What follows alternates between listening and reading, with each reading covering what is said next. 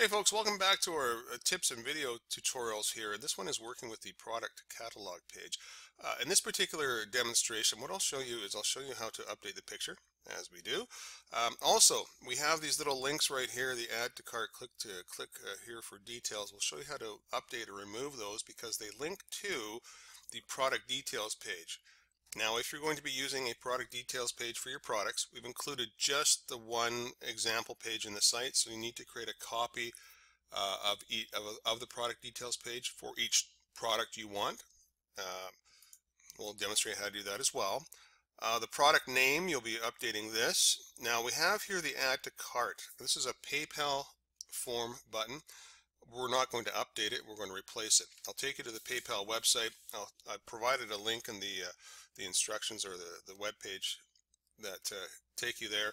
Um, you can always just go to Google and type in a PayPal button generator if you if the link uh, changes at any point in time.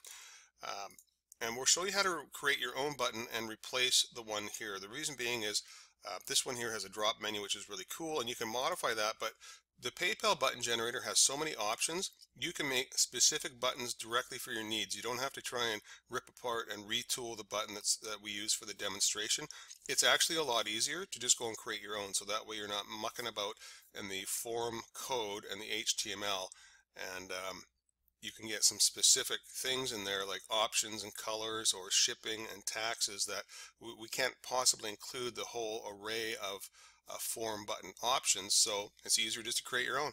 And lastly we'll uh, we'll um, change the the price right here or get rid of the was 99 or change the word sale to price or something like that. So let's just jump in here. So the first thing we need to do is when we're replacing an image. Uh, the image size we're using is a uh, well that doesn't even tell us. So what we're going to do is find out where the image comes from. Um, these images are stored in the site.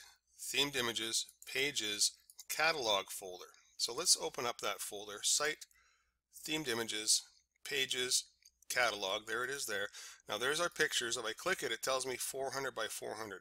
This is one of those cases where we've used a larger image, although this is not a 400 by 400 image, but we've used a larger image here for the catalog page because if you want, you can reuse that larger image in your product details page, right?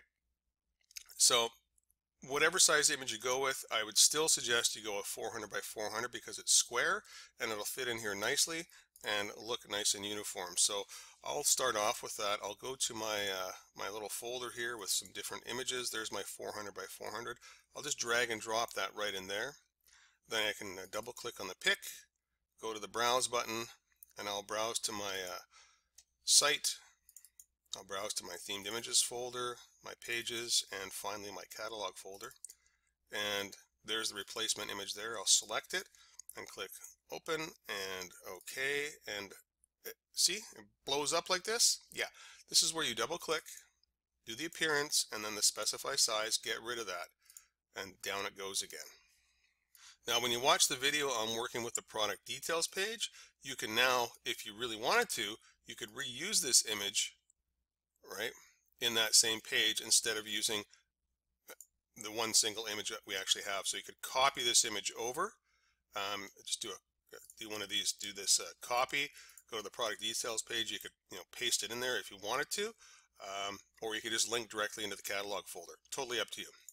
Uh, now, the next thing we do is change the product name, and we use the two different font styles. Uh, so you can just single click. I really suggest when you see these two different font styles, and it's best to sort of be previewed in the browser here first. You go, okay, so we have a regular, then a bold.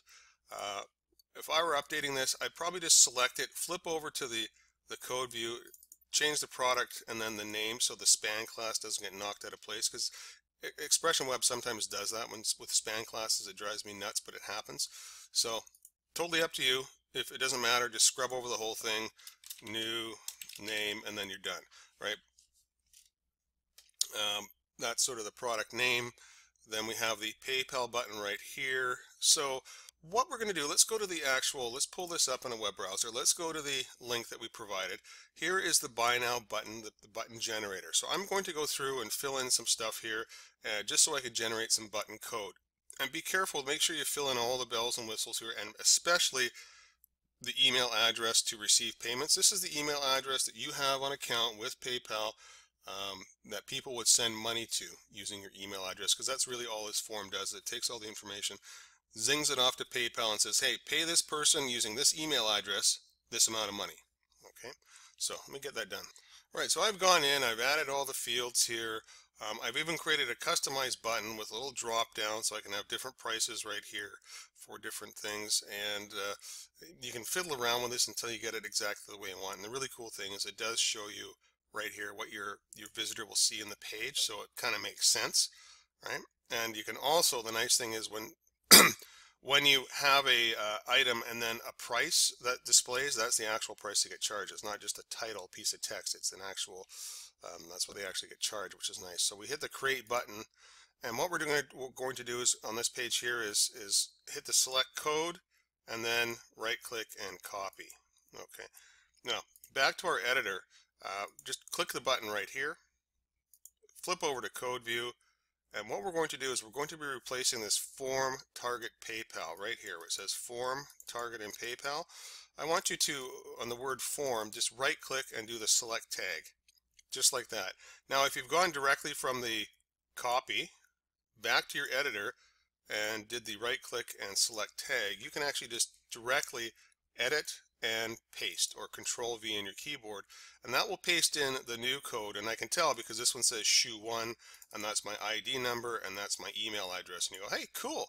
Now I'm going to be a little bit on the tidy side here. Just select this and hit the tab key to line things back up right? And that's how you update your PayPal button and that will work in your catalog page as well as the PayPal button you have for your uh, uh, product details. As a matter of fact this is the point in time if you've if you've know if you know you were going to use a product details page for each item this is probably a good time to go and create at least a copy of each page. So in this case I would do the copy paste now I called it shoe one right that's that's the name of this particular product so I'm going to change it from product details to product shoe one right I'm going to open up shoe one I'm going to click my PayPal button right here and go right to the code view. Back to my open page, I'm going to copy, uh, do the right click, select tag, and update the form right away. So that way I'm going to do both form updates at the same time because they both have PayPal buttons, right? I might as well get the code done, boom, and out of the way. I can save and I can close and come back to this later on, but I won't have to fiddle around with uh, doing the PayPal buttons after that, right? So we've changed the picture, we've changed the name, we've updated the PayPal button code, right? Now we have this old was 99, sale 69, and this is basically just regular text. Um, so wrapped in a, a span tag. You can get rid of this if you don't want it. It's the there's the category price right there. So if we actually click on the number, we go up to the the div tag here. If you want to get rid of it, just select the div cat price and delete it okay because that's just a little bonus thing we've thrown in there it kind of looked cool so we did it but you may not want it and then you may need to change the name sale to price or whatever you want to call it and then just there's the number right there. So you can go ahead and make those little tweaks if you want to.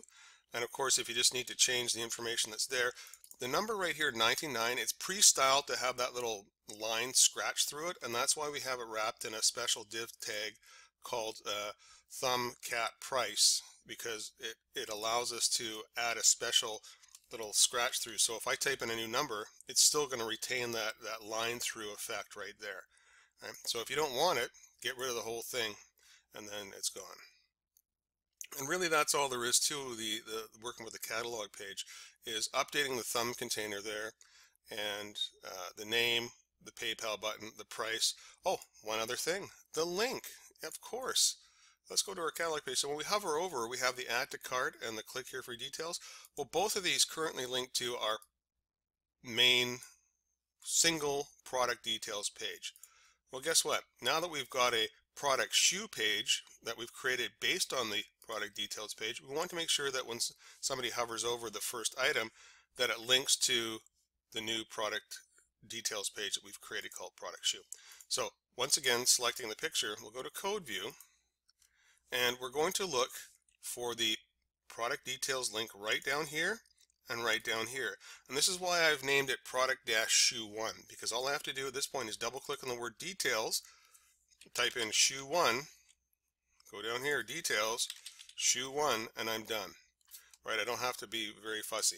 And I'm always going to keep my product detail pages the, or the copies of them in the same folder as my catalog page. So that way all I have to do when I'm updating the link is just change the name from product details to product then the name of the product. And that's why I use something simple that I can quickly type in here and identify